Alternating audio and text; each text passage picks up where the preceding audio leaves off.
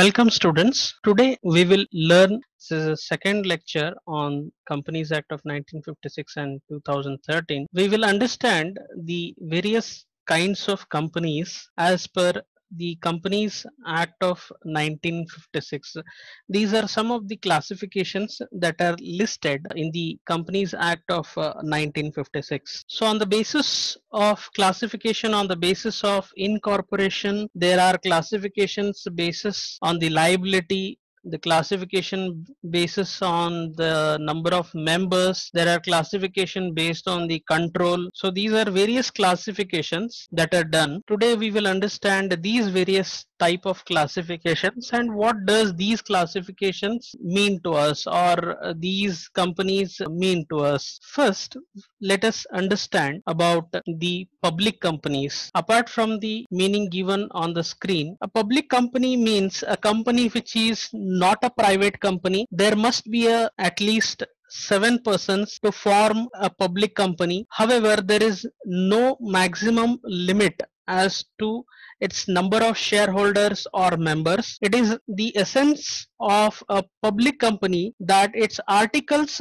do not contain provisions restricting the number of its members or excluding generally the transfer of its shares to the public or prohibiting any invitation to the public to subscribe for its shares or debentures. Generally speaking, any member of the public may acquire shares in a public company on payment of the share money. The articles of a public company may however contain restrictions on the issue or transfer of shares. The company remains a public company despite such restrictions. Only the shares of a public company are capable of being dealt on a stock exchange. Let us look at private companies. A private company means a company which by its articles restricts the right to transfer its shares, limits the number of its members to 50 exceeding members who are or were in the employment of the company and prohibits any invitation to public to subscribe for any shares or debentures of the company where two or more persons hold one or more shares in a company jointly they shall be treated as a single member. There should be at least two persons to form a private company and the maximum number of members in a private company cannot exceed 50. A private limited company is required to add the words private limited at the end of its name. The Companies Act does not specify in what manner the right to transfer shares must be restricted in the articles. The restriction as to transfer of shares must be made applicable in respect of all shareholders. There cannot be any discrimination.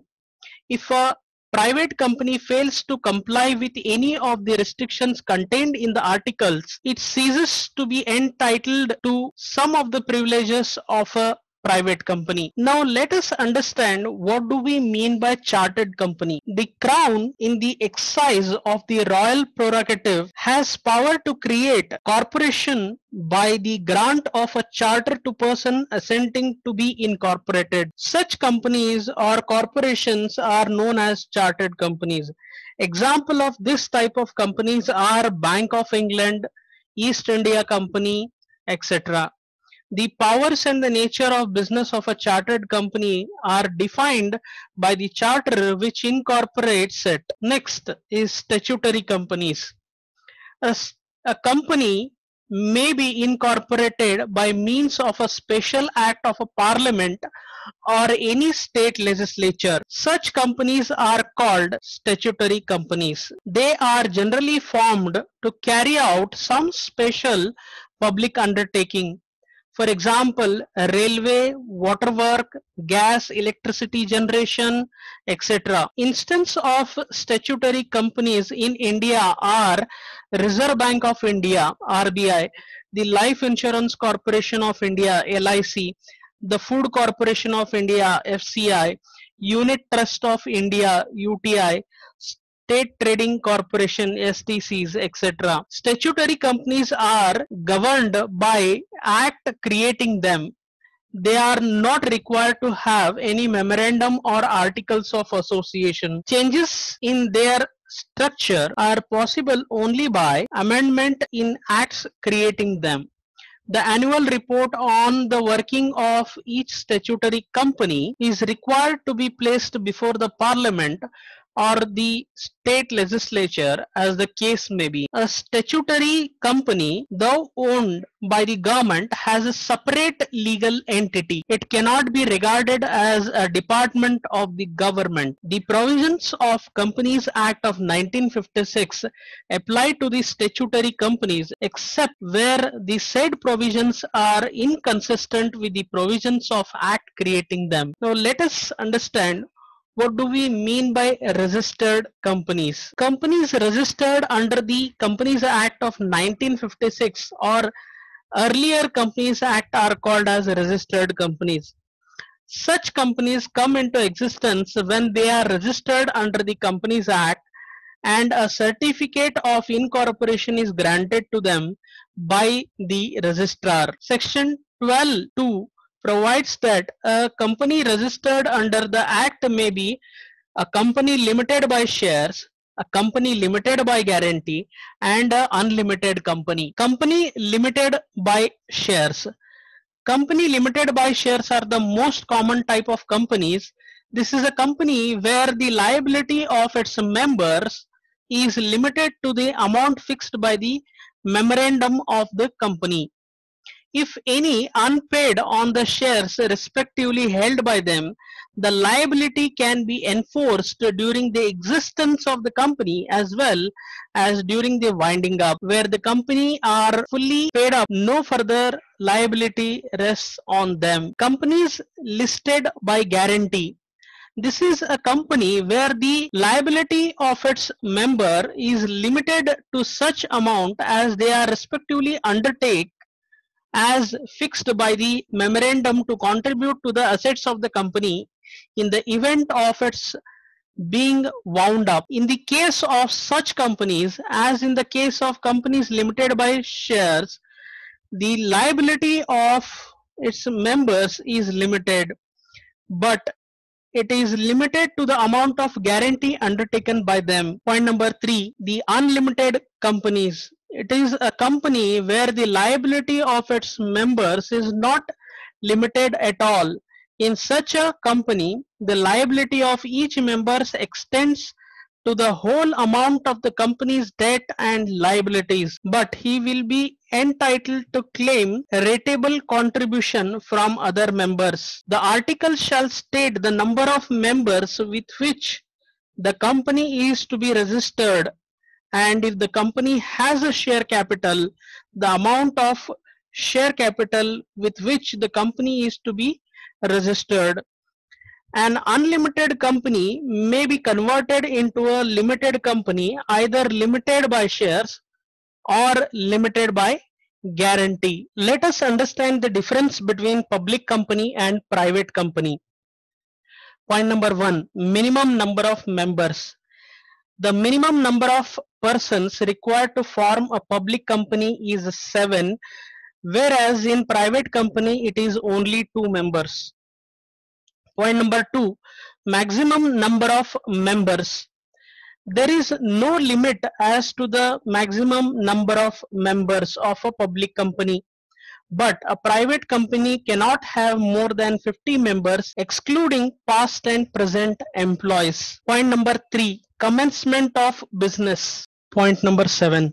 Statutory meeting. A public company must hold a statutory meeting and file with the registrar a statutory report. But in a private company, there are no such obligations.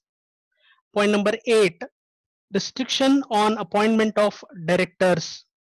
A director of a public company shall file with the registrar a consent to act as such he shall sign the memorandum and enter into a contract for qualification of shares.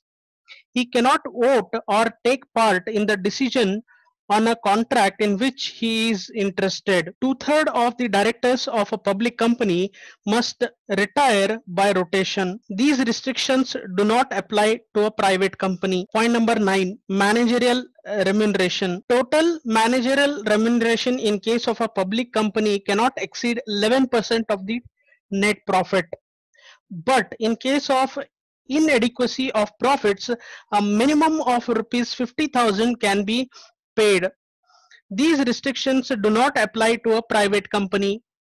Point number 10, further issue of capital. A public company proposing further issue of shares must offer them to the existing members. A private company is free to allot new shares to outsiders. Next topic that we are going to discuss is about conversion of private company into a public company. There are basically three types of conversions that uh, you are able to see on the screen. Point number one, conversion by choice. What does this means to us? Let us try to understand. A private company may deliberately choose to become a public company if a private company deletes from its article the requirements of section 313 by passing a special resolution, the company will cease to be a private company from the date of the articulation of the articles. When a private company chooses to become a public company, it will have to comply with all the provisions of the Companies Act applicable to a public company. Within 30 days of its becoming a public company, it shall file with the registrar prospectus or a statement in lieu of prospectus. Point number two, conversion by default. Private company is entitled to certain privileges and exemptions. It can enjoy those privileges as long as it complies with the requirements of its definition as given in section 313 where any default is made in comply with the provisions. The company loses the privileges the exemptions and the provisions of the act applied to the company as if it was not a private company. However the company may be relieved of the consequences on an application made to the court and the court is satisfied that the failure to comply with the conditions is not willful or that is just uh, equitable to grant relief section 43 next point point number 3 conversion by the operation of law. Private companies are exempted from the operation of several provisions of the act and enjoys certain privileges principles on the ground that they are family concerns in which the public is not directly interested. As public money is invested in such companies there no reason for treating such companies as private companies the law tries to tackle the problem by creating another type of companies that is deemed public company.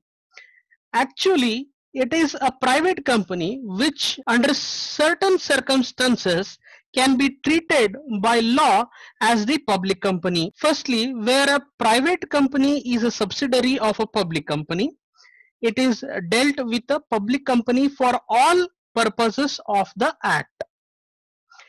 A private company shall also be deemed as a public company in the cases such as where it invites public deposits through an advertisement.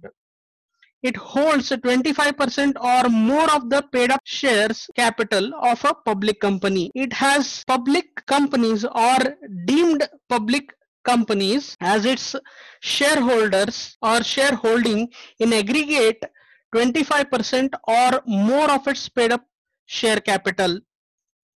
Its average annual turnover for the last three consecutive financial year is 25 crores or more.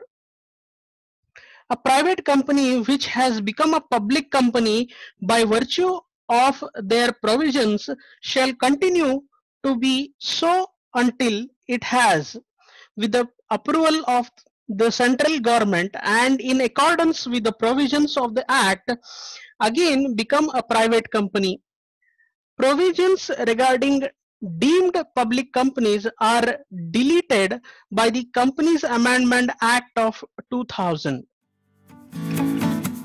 Thanks for watching this uh, uh, video on uh, Companies Act of 1956. Please like, share and subscribe this channel.